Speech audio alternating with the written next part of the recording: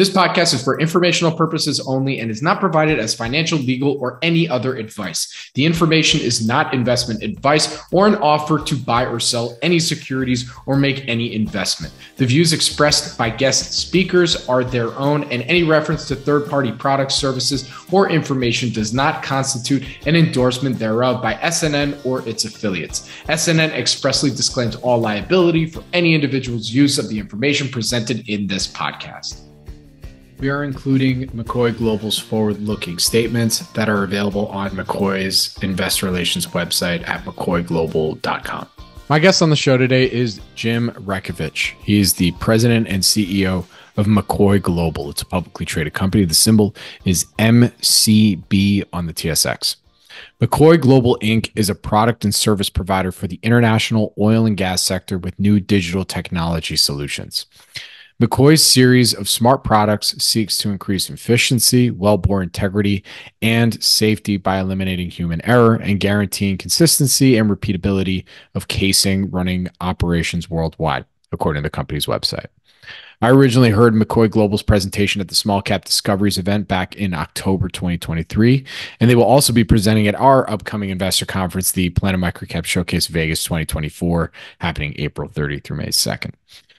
Despite operating in a cyclical industry, the company has been around for 100 years and has a global footprint with operations on every continent. I invited on Jim to better understand the following how McCoy Global has evolved and provided a product and services suite for the current oil and gas environment, competitive landscape and customer base, their digital technology solutions, and Jim's three to five year vision for the company. With that, please enjoy my conversation with Jim Rakievich, President and CEO of McCoy Global. Jim, thank you for joining me today. How are you doing? Great. I'm doing well. Uh, thank you for inviting me. Absolutely. It's great to have you on here. So, quick background, everyone listening and you know, we are, uh, uh McCoy is going to actually be presenting at our upcoming conference in Vegas, uh, Planet Microcap Showcase Vegas 2024, April 30 through May 2nd, 2024. Go to, if you want to, you know, see him in person, meet, whatever, go to planetmicrocapshowcase.com. And you're actually, if you're listening to this, you might have saw we did a short form interview uh, that we put out a little bit earlier than this one. So, you know, now is our opportunity to, you know, I was holding back you know, I, I, had a lot more questions, but you know, now's our opportunity to to dig a little deeper into the story. So with that, you know, my first question that I ask everybody on here, Jim, is what would you say is that one line that best describes McCoy Global? We're a uh, uh, we are a provider of uh, solutions for our customers with technologies in the oil and gas industry. Very good. All right, so we're gonna good. You that nice nice little umbrella. There's a lot we can get into from there. So you know, I it's funny. I joked on the uh, on the short form, you know, about your history. You know, it's a hundred year history here. So now you now's your chance. If you want to get into it a little bit more, you can. So you know, let's take a look back at that history. When was the company founded, and what was the original thesis for its founding, and how has it evolved to where you're at today? Well, the company was founded in uh, 1914 in Edmonton, Alberta, and uh, by uh, Henry McCoy, and he started out as a blacksmith shop. So I guess to some extent, he's been manufacturing or putting things together uh, right from the beginning, and uh, uh, they continuously grew uh, as uh, as industry grew and got into spring manufacturing when when vehicles and automobiles started to become and trucks became an important thing. Uh, so they started manufacturing uh, steel springs and in Edmonton, and then they they started uh, doing repairs to suspensions on vehicles. Then they started producing trailers, like manufacturing, and Alberta being an oil and gas uh, really foundational industry in our province. And uh, so a lot of what they were doing were, was related to oil and gas, all of the any kind of products or services they were providing. And as the company grew, uh, second generation took over, and then eventually the third generation of McCoys uh, took over, and uh, which is actually pretty impressive considering not a lot of family businesses get to the third generation successfully. Uh, so fast forward, uh, the company was sold to a private equity group in 1995. Uh, they took it public in 1996, and shortly after that, um, I got uh, uh, brought into the organization uh, because of my operational background. They had one of the business units that needed some help, and uh, basically go in and uh, do a t- turnaround on the business. And so I I did. And uh, as the the company at that time still was a bit of a conglomerate of other technologies they produce, like oil field trailers and things like that. And then in 2002, I at, at that time I was the chief operating. I had elevated over that period of time to chief operating officer. And then I uh, got asked if I would take the role of chief executive officer. So I did.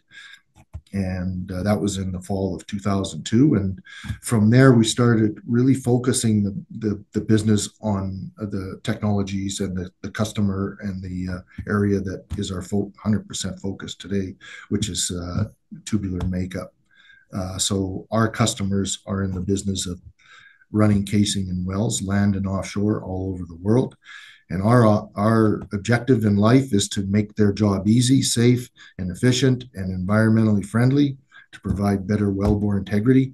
Every well that's drilled around the world for any hydrocarbon, whether it's uh, gas, oil, uh, or any other uh, hydrocarbon, uh, and whether it's even geothermal, uh, in those uh, cases, uh, they run casing in, in wells and it's steel pipes screwed together.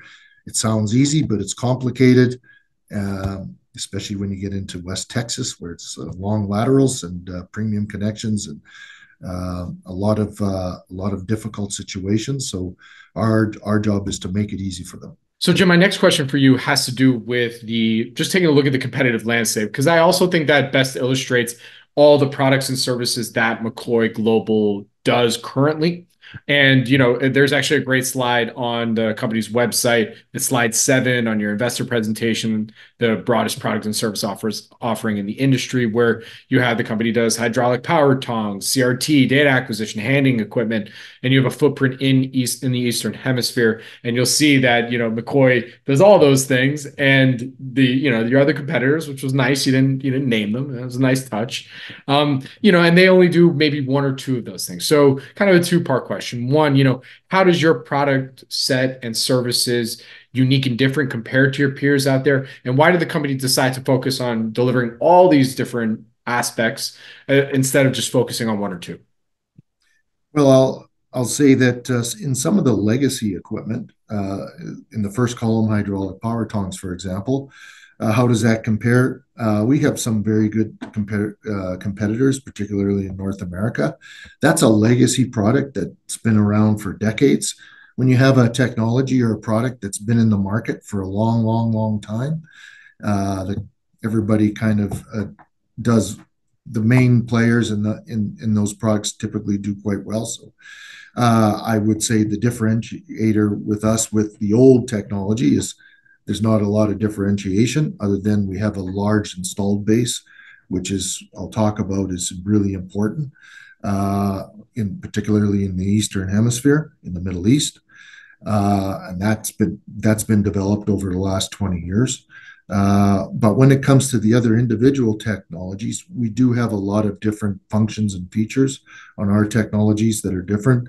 The handling tool side, the FMS, it's so unique. There's there's there's flush mount spiders is the, the term FMS, uh, but ours is unique and we've got some uh, uh, technology designed into that tool that nobody else has that adds a tremendous amount of value to the customer. On the fact that we have a physical presence in the Middle East is really a critical uh, differentiator as well. Uh, customers in that region uh, the fact that we support them regionally. We ha- we have 16 people based out of that facility in Dubai now, and we look after all of the Middle East, North Africa countries. We look after Southeast Asia from there. It's really quick. We we have spare parts. We provide technical support and uh, technical sales right out of right out of our, our our group there.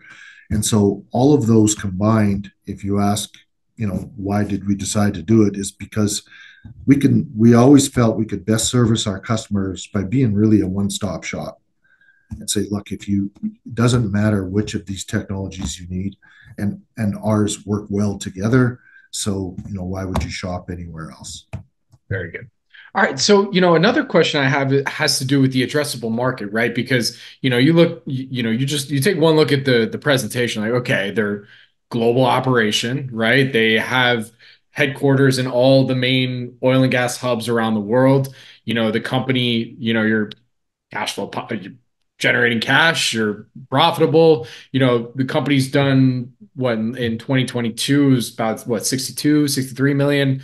You know, you're you've already, I think, uh, at around around 50, I think, for just up until you know as as as uh, I think up until Q3, yeah, something like that. So you know, tell me about scalability, addressable market. You know, tell us how this this you know there's this is uh, inning two versus inning seven. Well, uh, the reason is because of technology. Um, there's no question about that. Uh, the addressable market uh, for us, what we, uh, the technologies we've been developing and where we're headed and why, you know, where the growth opportunity is, is dealing with uh, the biggest headache our customers have had for a period of time, which is labor. Labor costs are are are half or more of the cost of running casing, and labor is harder to find. Uh, experience has retired or left the industry uh, since COVID. It's getting harder to get people to to to leave and go work in um, Odessa, Texas, and for two weeks, and then back home for a week, and uh, um, uh, and then finding them, uh, and then cyclicality in the industry. The younger generation, they don't really find that that kind of those kind of roles attractive. So it's been very difficult. So we consistently heard from our customers, recruiting, training, and retaining people, and the cost has been a real issue. So what we've done is put together a technology package that when all these technologies are put together into an integrated package, which we're working on field trialing this year, um, that will reduce that that headcount and cost and reliability on experience tremendously, and that's going to add a, a lot of value to and uh, to our customers. For sure. I mean, uh, you know, from what you can tell us, can you get into that a little bit more about, you know, how all those technologies are kind of siloed right now and why tell us more about the solution that you're putting together? Sure. From what you can, of course. I, you know, I don't, you know. You know, we we we started this journey six years ago to say, look, this is the problem. Let's let's solve it. You know, we, you know, uh, I always like to say that, you know, in this part of this industry, uh, when it comes to automation and using digital technologies and sensors and that kind of thing, we're going to boldly go where most industries have gone before and uh, change the way things have been done for decades. And uh, the technology's there. You just need somebody who really understands the application and how things really work in the field. And uh, the fact that we have so much experience on the individual technologies uh, we are able to make them smart because we have uh, we've during this journey we did a couple of key acquisitions. Uh, one of them on a specific tool that was required, the casing running tool, and then we did an acquisition in Cedar Park, Texas, which is the suburb of Austin, and their expertise was something we needed as a core competency, which is collecting data in harsh environments. And so we have the uh, the, the, the electrical, the sensors, the data acquisition expertise, we have the mechanical expertise, and we have the application. So we, as we've been developing each product uh, that's going to be part of this integrated package, what we're excited about is individually they've been commercialized. They've been commercialized on their own, and now we're bringing them together, you know, that's going to create our integrated package. So we're already getting, we're already getting customers understanding the value of individual technologies. And but the real win to get back to your your your at your absolute question is, you know, uh, what inning are we in when it comes to the fully integrated automating this this process? Um, where we are in the second inning, and uh, so the next inning is 2024 is getting the field trials completed, getting getting the integrated package proven that it works really well, and you can run casing uh, more efficiently, safer, uh, improve wellbore integrity, remove the requirement for experience, and most importantly, remove at least half of the people required to do the job, and um, and uh, have uh, that uh, be the uh, be the real um, be the real technologies that solve the problem. Absolutely. You know, I'm sorry I used a baseball reference. You're in Edmonton. I should use the hockey reference. I don't know. It's like the first five minutes of period one. I don't know. You know, uh, yeah, next, well, well, we're halfway through the first period. there you go. we got past the warm up. yeah, there you go. You know, again, you know, not I, you know, it's post Zamboni. Hey, know? I still play. So, oh, that's really cool. Um, I'm in LA. I'm sorry. This, I mean, I'm sure there's hockey teams, you know, but there is. But uh, so uh, my next question then for you, you know, has to do with the cyclicality of the the business in oil and gas. I mean, you know, it may seem like ancient times at this point, but we did just come out of a pandemic. You know, during that time there was, you know, uh, not so much travel, not so much use. You know, the wells more or less stopped, less construction. Now, obviously, you know, things really ramped back up and went kind of gangbusters a little bit you know, it's, it's funny. I'm actually going to be, I, I, we, I try and cover as much as I can on the space because it just, there always seems to be new news and new highlights and whatnot. So how does the company, you know, keep up with the changing of the tides of this industry and manage some of those changing of the tides as, as things can change uh, on a dime? Well, first, when it comes to the pandemic, I think that, you know, you got to consider that a bit of, you know, a real black swan event. Um, there was a lot of industries got whacked by that. Um, but uh, to your point about our industry having cyclicality, there's no question about it. You know, the price of a barrel of oil has changed and gets cyclical. If you, I think a better comparison is from 2015 to 2019. Uh, that that was a, a, down cycle. So what did what did McCoy, what is you know what did McCoy do? We understand the cycles pretty good, and our objective is always to be uh, adjusted EBITDA positive through all of the cycles. And we actually took advantage of it. We went into that downturn with a very strong balance sheet. And uh, sometimes you have to look at that as opportunity. And the opportunity was we were able to complete those two really critical, strategically important acquisitions, not when they were priced high at the top of the cycle, but we bought those uh, an example is the uh, the business we bought in Cedar Park, Texas. That's the uh, data acquisition company. We bought that company for just over six million US at that time in 2019, and then last December, December of 2022, we did a sale and leaseback on. It included the land and buildings. We did a sale and leaseback on the land, just the land and buildings for six and a half million so it paid for the acquis- it paid for the acquisition and uh, we got all of the business for nothing essentially. Anyway but we also used that time to to focus and work on the technologies. And the other thing that's i think is really important to understand is when you look at our financials and you look at the breakdown of uh, where we get our revenue we have a large aftermarket um, uh, segment. So when I described we have a large installed base of legacy equipment and new equipment in the Middle East and all over the world. Uh, we every quarter you look at our revenue, you're going to see for you're gonna you got to know that 40% of that revenue is aftermarket, replacement parts and consumables. That is a pretty steady business, and even in the downturn, the nice thing about McCoy is we still have a good income stream because people actually repair more than buy new equipment at that time. Very interesting. Yeah, no, I mean, it's kind of it's McCoy. You're it's a very fascinating place where the company is right now because it's very rare, especially in these. Or well, maybe not so much, but I mean, in microcap circles where you see a company that's doing you know trailing 12 months, you know 60, 70 million profitable, cash flow positive, and I mean, you know, your company's right now we're recording this on January 23rd, 2024. Stocks at, you know, you're what 50-ish million market cap, you know, uh, what what are we missing? What what what am I missing here? I'm not listen, I'm not saying that it's a you know, no buy ratings, anything like that. I'm not a shareholder, but I feel like I'm missing something.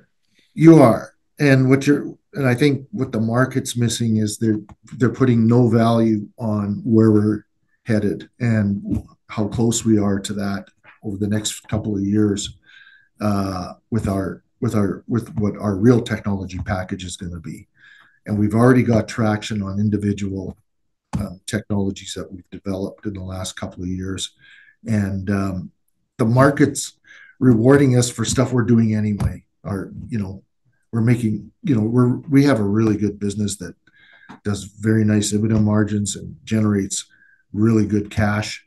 And but the markets, I guess what you're missing is the markets not giving any value to what's coming.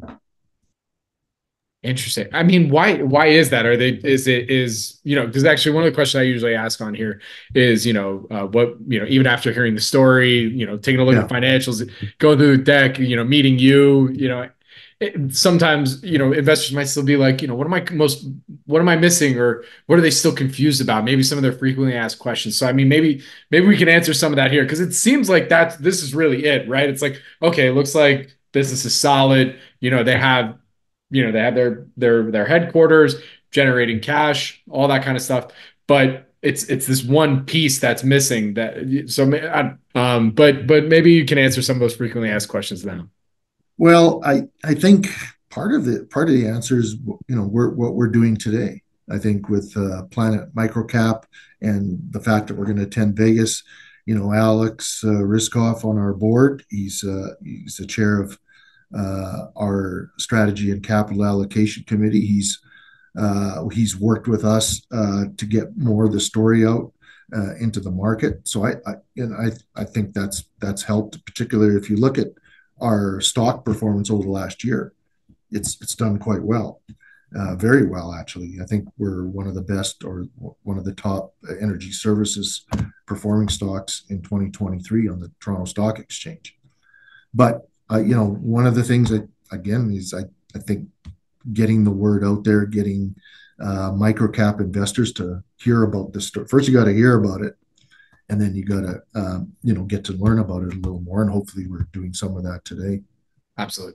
All right. So here's another question that, you know, I'm not, I'm not here to paint the, you know, just the flowery picture here. You know, I, yeah. with every potential investment comes risk, um, potential downside, all that stuff. So, you know, in your opinion, what, what would you say are some of the company's downside risks aside from execution, right? Like let's, let's obviously let's put that out the door. Like if the company sure. doesn't execute on, you know, the new technological package that you're looking to put together for ONG services, obviously like that, that would not be great. But aside from that, and black swan, you know, pandemic uh, events, you know, what would you say are some of the company's downside risks? Well, I I think it's just uh, what we talked about earlier. When it comes to risk, what does Jim worry about? You know, I just worry about um, you know if uh, if, if, if economies do not respond, consumption of uh, you know we rely on uh, consumption of uh, hydrocarbons and um, uh, you know our our view is that over the next 10 20 years this the demand if you see the demand uh, that it's over 100 million barrels a day today and continues to grow actually. So uh, we think we're in a great spot uh, uh, that wise but things happen and price of oil can go down to $40 or $30 a barrel and then activity slows down and that those are the things that impact us directly. But when it comes to exec you're right uh, execution you know put that aside it's really the uh, uh, the you know the market drivers that that really would pose pose a risk. Very good. And and how does the company plan to continue to maintain you know profitable enterprise while also keeping in mind some of your growth trajectory that you're looking to achieve well, the good news is is that over the to put it in perspective, we we've invested over twenty million dollars US in our technology roadmap since 2018 uh, to develop all this stuff. So the best way to think about it is the bulk of the capex is spent, the vast majority of it. Where we're at in that journey to uh, uh, to commercialize our integrated package uh, that money's the, vast majority of that, and that includes those two acquisitions.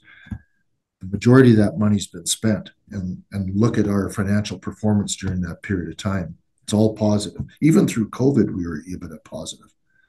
Uh, so, um, I would say that um, you know the uh, the ability for us to continue down that path is is excellent because our requirement, our opex is very low, and um, so we, uh, uh, you know, we we have an ability to manage our cash very well without being stuck with high CapEx in either product development or in production. Absolutely. And just, you know, so that, you know, I'm sure people might be looking at the company while we're talking here. And, you know, the company also throws off a dividend as well, you know, so want to talk about that a little bit? I mean, that's yeah, it's part of our capital, you know, I guess, you know, some, you know, often from investors or potential investors say, well, how do you allocate capital? And we do. And so first of all is to uh to grow the company. Uh, And we do that. And it's not only, as as I've described, through our R&D and our own technology development internally, where we uh, develop things and and create uh, uh, create new revenue in the future. But we also do strategic acquisitions that support our strategy so that we do allocate and we do make sure we have enough balance sheet ability to make sure that we can grow organically and through M&A. Um, and then after that, we our biggest use of capital recently has been investing in our rental fleet uh, because more and more customers are are renting our technology. So uh, that takes capital to to build that rental fleet. But our returns on rental are fantastic. And so we um, and we typically get long-term rentals on the capital equipment. So uh, we do apply capital there. And then with the remaining cash, we do want to return some to shareholders. So we we buy back shares. Last year, we we had a normal course issuer bid, and we completed the entire, I think we bought 1.6, our maximum allotment, 1.65 million shares back. Uh, so in August of uh, 2024, we'll be able to renew that normal course issuer bid bid uh, and buy back shares. And then we offer we give our shareholders a dividend as well. So that's how we allocate capital currently. And we do have cash still available on our balance sheet. Absolutely. And, you know, one other question that I know everybody listening in is, you know, insider ownership. Do you want to speak to that a little bit as well? Yeah, about, uh, you know, the total insider ownership is uh, is a, is about 9%. uh, And uh myself, I uh, I just about own a have a million shares of common shares of McCoy stock myself. So I'm a fairly significant shareholder. All right. So this is kind of a random question, but like I've asked this a few times on here to various companies. But, you know, when you think about, you know, where you want to see the company in three to five years, so uh, I'll make this a two-part question.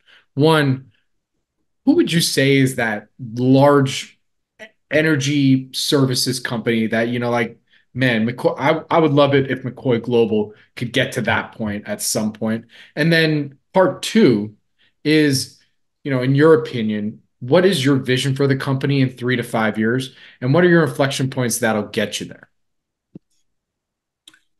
Well, there's a couple of big questions there. So. Very existential. I apologize. If you look at the large multinationals, um, they are in a different business line. So if you look at the Schlumberger, Halliburton, Weatherford's, Baker Hughes, they largely built their mass on being service companies. They're actually our customers.